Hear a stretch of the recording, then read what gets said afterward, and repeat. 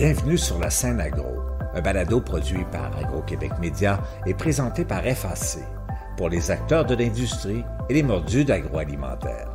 Nous partageons l'actualité, des entrevues exclusives, des dossiers, portraits d'entreprises et plusieurs sujets liés à ce secteur représentant un véritable moteur pour l'économie du Québec.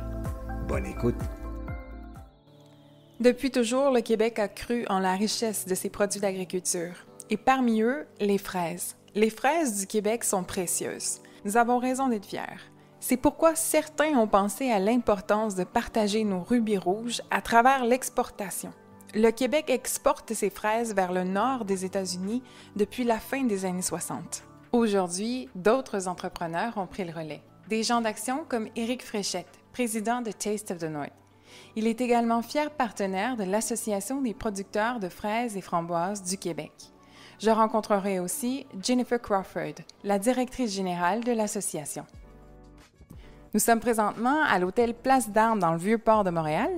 On va rencontrer Éric Fréchette qui vient de terminer un rendez-vous avec le gouverneur du Vermont, certainement pour parler exportation. Alors, on va aller lui demander comment ça s'est passé. Mais dans le fond, aujourd'hui, euh, c'est une belle euh, invitation qu'on a reçue du gouverneur du Vermont avec euh, tous ses partenaires. On a partagé différentes informations sur dans le fond, les transactions économiques qui se passent entre les deux euh, endroits, donc le Québec, d'une part, et le Vermont. Donc, de quelle façon euh, tout le monde peut travailler ensemble pour améliorer, dans le fond, euh, les, échanges économiques entre ces deux régions-là, qui sont d'ailleurs très similaires. Hein. Le Vermont vit un peu les, mêmes cultures, les mêmes valeurs que ce qu'ici on vit au Québec, au niveau de la nourriture, au niveau des valeurs environnementales aussi, d'ailleurs. Donc, ça fait de nous des partenaires naturels euh, qui partageons évidemment là, une même frontière. Vous avez récemment été élu en tant qu'administrateur du conseil d'administration de l'Association québécoise des fruits et légumes tout récemment. C'est certainement une belle fierté que d'avoir été nommé. Comment vous voyez votre rôle au sein du conseil d'administration? Donc, euh, d'avoir été élu par mes pairs, donc dans le même domaine que moi, bien, c'est sûr que ça, a été très flatteur. D'autre part, euh, je dis toujours que c'est juste le début, c'est le commencement. Alors, le travail, tout le travail reste à faire. Donc, euh, je vais aussi faire ma place, amener ma marque aussi. Je vais être appelé à travailler sur différents comités. Et évidemment, tout ce qui va toucher l'exportation, bien, c'est sûr que ça m'intéresse. Partager aussi mon expertise. Tout récemment, vous avez changé votre image de marque, le logo, les visuels, etc. J'ai eu la chance de voir ça. Je trouve ça très beau. Ça représente bien le fait que votre entreprise est une référence.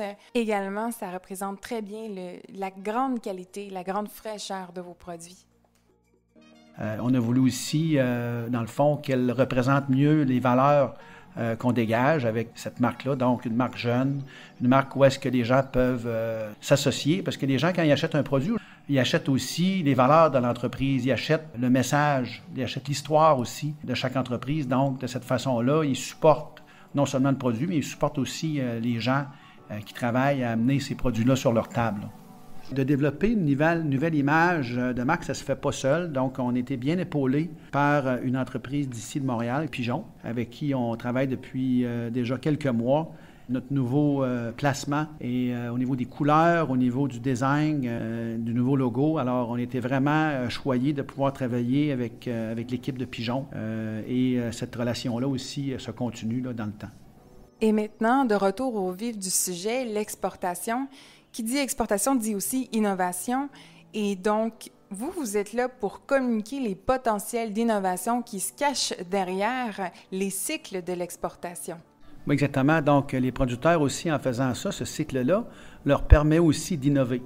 Donc, on sait que l'innovation, surtout euh, euh, par les années présentes, euh, c'est le nerf de la guerre. Donc, les entreprises qui vont être proactives à vouloir innover vont trouver des nouvelles techniques de production, vont trouver des nouvelles variétés, vont trouver des façons de faire plus économiques, euh, et peut-être avoir moins besoin de main-d'œuvre.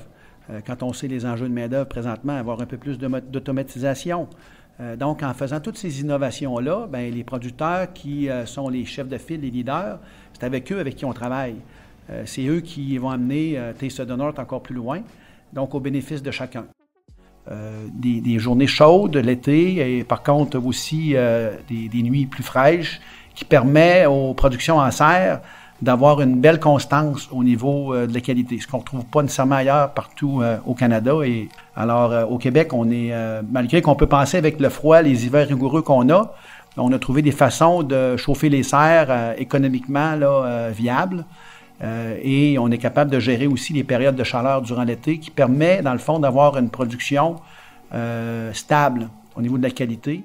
Jennifer Crawford, directrice générale de l'Association des producteurs de fraises et framboises du Québec, nous expliquait un peu les potentiels de la proximité de Taste of the North qui fait que effectivement, c'est plus écologique et ça assure la qualité du produit. C'est cueilli le matin et le lendemain, on les retrouve sur les tablettes américaines. On veut vraiment présenter une fraise euh, qui est euh, issue d'une agriculture de proximité, euh, familiale, fait avec, avec soin, de très, de très grande qualité et d'un goût exceptionnel. Donc, c'est vraiment le goût que euh, Taste of veut mettre de l'avant. Puis ils ont raison parce que nos fraises sont vraiment différentes là, des autres fraises qu'on peut trouver euh, sur le marché. Et finalement, mais ça goûte quoi la fraise du Québec? Bien, la fraise du Québec, euh, c'est, elle est très sucrée. Donc, je pense que c'est l'élément qui, pour lequel elle, elle, est reconnue. Donc, les producteurs québécois ont toujours misé sur le goût versus d'autres euh, critères de sélection de variétés. Un mot pour les entrepreneurs agricoles? Euh, tous les producteurs qui ont des produits à valeur ajoutée, des produits qui sont distinctifs, donc euh, de nous contacter pour voir s'il y a des possibilités euh, des aider au niveau de l'exportation. on a une marque qui est connue aux États-Unis, qui est reconnue de plus en plus. et puis, ça peut être un beau canal de distribution pour ces entreprises-là euh, d'augmenter leur capacité de production, de s'ouvrir vers un nouveau marché. Donc, j'invite les gens euh, qui euh, ont la motivation de voir plus loin à nous contacter. Cet épisode vous a été présenté en collaboration avec le groupe Export Agroalimentaire. Vous avez aimé ce contenu? Suivez la scène agro pour rester à l'affût de l'actualité agroalimentaire. Merci et à bientôt.